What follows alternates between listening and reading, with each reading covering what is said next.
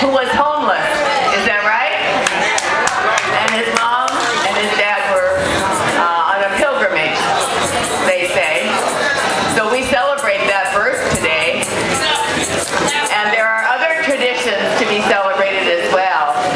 And I can't tell you how much joy and honor it gives me to be a part of this family, this fantastic team of volunteers. Buddy, the MC, some beautiful musicians, Anthony. beautiful musicians. Anthony, the ringleader, is that Anthony right here? And this is when we know, though the troubles abound everywhere, don't they?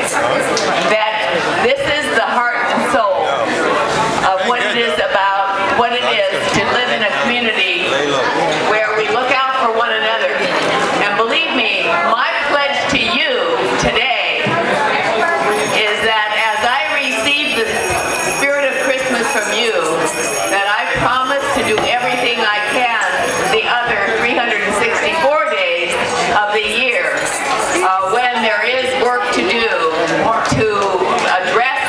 that many of you know so very well.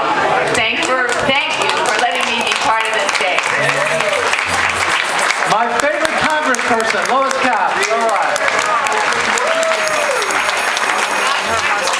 Okay, and back now